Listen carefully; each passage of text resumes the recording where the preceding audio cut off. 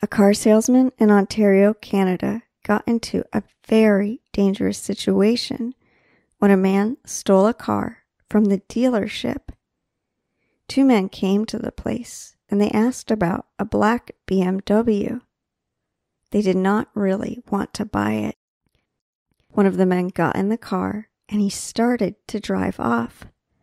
The salesman jumped on the car and he tried to stop the man. The thief did not stop and he continued to drive onto the main road. He drove so fast that the salesman fell down and another car nearly hit him. The salesman suffered serious injuries and he ended up in hospital.